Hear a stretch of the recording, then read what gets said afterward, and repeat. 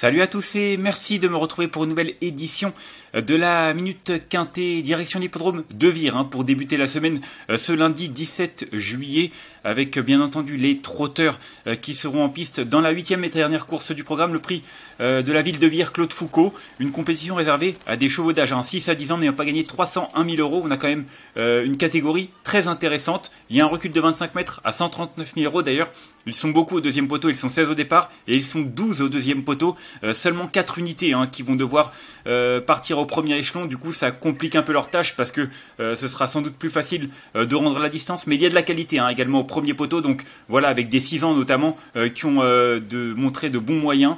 On va rentrer dans le vif du sujet. Moi, je suis parti quand même au deuxième poteau avec mon choix prioritaire. Ce sera le numéro 14, Gendréen. Alors, il est ferré des quatre pieds, mais ça ne m'ennuie pas. il vient de très bien courir du côté d'Anguin, battu par un cheval certainement encore en retard de gain. C'était dans le prix Florence Le Cellier le 5 juillet dernier. Il y a quoi? Il y a même pas deux semaines. Hein, il y a une douzaine de jours. En tout cas, euh, il courait bien déjà, il était ferré ce jour-là. Euh, il est battu par 50, euh, Black, je crois, un, cheval qui, comme je l'ai dit, est en retard de gain. il a prouvé non seulement qu'il était en forme, mais qu'il était capable de bien faire ferrer, ça on le savait. Mais sa tentative est d'autant plus intéressante qu'il a vraiment bien accéléré dans les 100 derniers mètres. J'ai bien aimé son coup de rein comme ça, euh, un peu après la mi-ligne droite. Le cheval est en forme, il est bon droitier. Euh, même s'il a pris beaucoup de gains euh, ces derniers mois et surtout l'année dernière, il a encore de la marge. Et face à une telle catégorie, il est capable de rendre la distance victorieusement. Ensuite, j'ai retenu le 4, hein, Hasard d'érable en deuxième position, c'est un des très bons 6 ans. Hein. Ils sont combien au départ 1, 2, euh, ils sont 5 au départ, 5-6 euh, ans, et c'est vrai que lui est déjà très bien engagé, vous le voyez, euh, le recul il a combien? Il a 139 000, il a 136 000 et des poussières. Franchement, c'est un très bel engagement. En plus, la forme est là, il vient de gagner sur l'hippodrome de Vincennes sur une courte distance. Voilà, déféré des intérieurs, il est très efficace dans cette configuration. Rien à rajouter, il est bon droitier. Il a déjà couru, d'ailleurs, il a couru une seule fois à Vire, je crois, et sa seule tentative s'est soldée par un succès. Donc, euh, pour le coup, c'est du 100% de réussite. Euh, le seul petit hic, c'est qu'ils sont que 4 au départ euh, au premier poteau.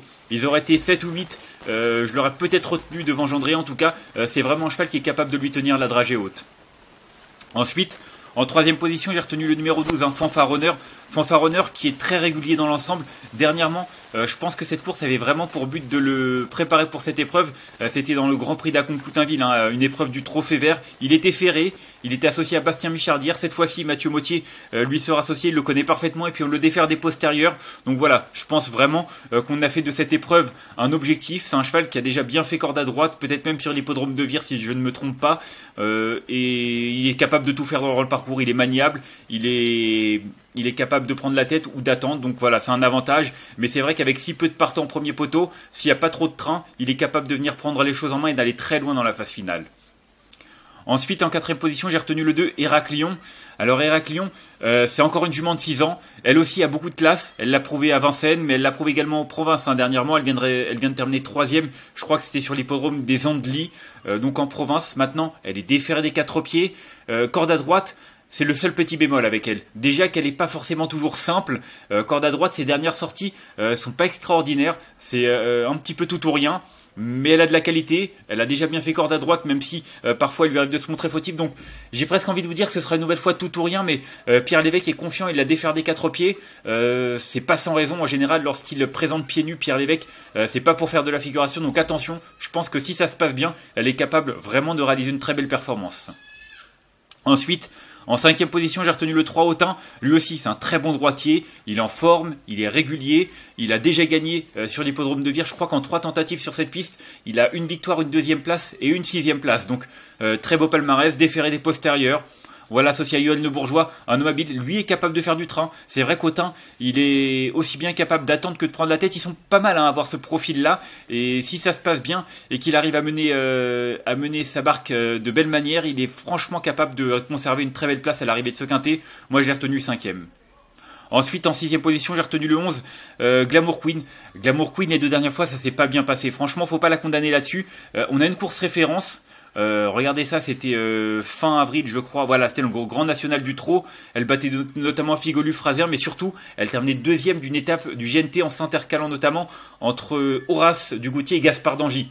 Euh, excusez du peu, hein, Horace Dugoutier, il a encore fait une démonstration dans le GNT du côté de La Rochelle mercredi dernier. Donc la ligne est bonne. Gaspard Nangy s'est malheureusement montré fautif ce jour-là, mais en tout cas, Glamour Queen, cette sortie montre non seulement qu'elle est capable de bien faire corde à droite, mais qu'elle est vraiment capable de courir avec des chevaux de qualité. voilà, déférer des postérieurs. En général, lorsque l'entourage défère des postérieurs, c'est qu'on y compte. Maintenant, va falloir voir aussi la motivation euh, de son driver. Euh, il va rendre 25 mètres, il va attendre un maximum. Et c'est vrai que s'il se retrouve trop loin, pour venir lutter pour les premières places, ça va être difficile. Mais vu euh, les moyens dont elle dispose, elle peut tout à fait terminer dans les 5 premiers sans aucun souci.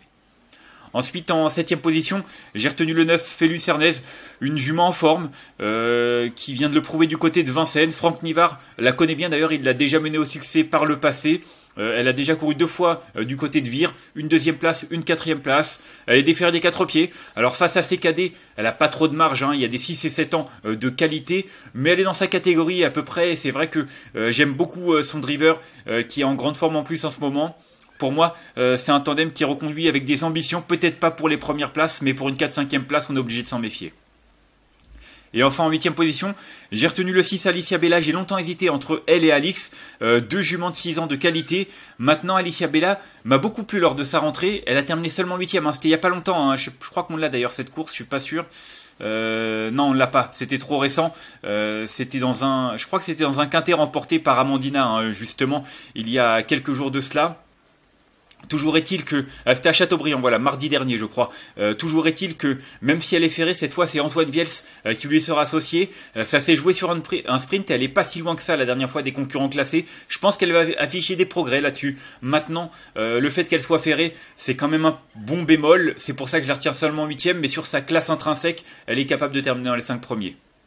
Et enfin, en cas de nos partants, j'ai retenu le numéro 13, Alix. Comme je l'ai dit, c'est une jument de classe. Alors, vous le voyez au niveau de sa musique, c'est pas extraordinaire cette année, souvent disqualifié, c'est pour ça que je la retiens.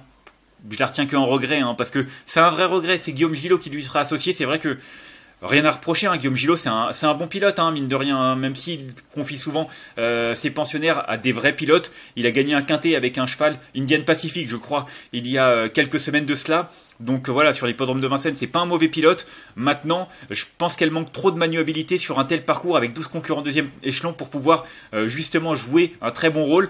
Mais si elle venait à trotter, pourquoi pas pour une cinquième place? Mais c'est vrai qu'avant le coup, j'en ai préféré d'autres.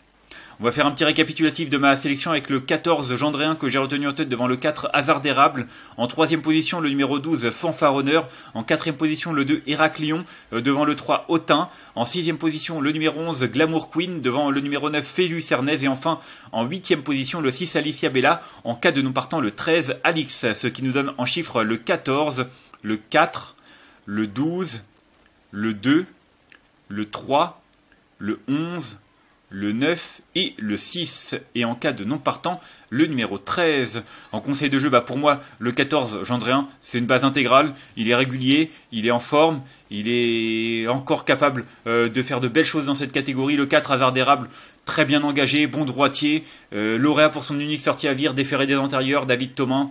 Lui aussi, il coche toutes les cases pour justement euh, jouer les premiers rôles. Et puis euh, le numéro 12, Fanfaronneur, qui a certainement été préparé pour ça. Lui, je pense qu'il lui faudra quand même un petit peu de réussite pour terminer sur le podium. Mais je l'aime beaucoup. Euh, déférer des postérieurs, dur à l'effort. Il est vraiment capable de, de, le faire si ça se passe bien. pour moi, c'est une bonne base également. Mais plus pour une 3-4ème place parce que ça va être plus une question de parcours pour lui. On va faire un petit point également du côté euh, de nos un top pro nature sélection. Euh, vendredi, euh, rien dans le tiercé écarté quinté, mais regardez, un trio à plus de 1000 euros, quelques coups de cœur du côté de top prono, et puis ce samedi, tiercé écarté quinté assez logiquement de la part de nos deux rubriques, en plus de quelques trios rémunérateurs. Donc voilà, vous pouvez tester nos deux rubriques à partir de 1 euro par mois. C'est l'offre découverte, c'est le premier mois, et c'est sans engagement. Moi, je vous remercie euh, d'avoir suivi cette euh, nouvelle édition de la Minute Quintée. Si vous avez aimé cette vidéo, n'hésitez pas à la liker, à la partager ou encore à vous abonner à notre chaîne YouTube en cochant la petite cloche. Euh, vous pouvez également laisser votre pronostic en commentaire. Il y a un tirage au sort parmi tous les commentaires chaque mois avec à gagner 6 mois d'abonnement VIP au site turf-fr.com. Moi, je vous retrouve demain pour une nouvelle édition. D'ici là, je vous souhaite de bons à tous. Bye bye.